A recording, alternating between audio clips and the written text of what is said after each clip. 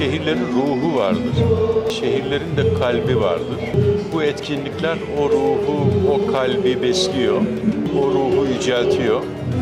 Eğer o ruh olmazsa şehirler sadece binalardan, apartmanlardan ibaret olur.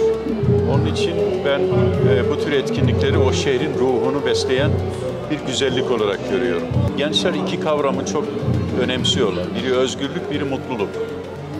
Kavramı eğer kendi dünyalarında doğru bir zemine oturturlarsa çok şey değişir diye düşünüyorum. Çünkü özgürlük sadece arzularımızın istediklerini yerine getirmekten ibaret değil. Gerçek özgürlük insanın kendi iradesine kendisinin sahip olmasıdır. Ramazan da aslında tam da bu irade özgürlüğünü insana kazandırmak için emredilen bir ibadet.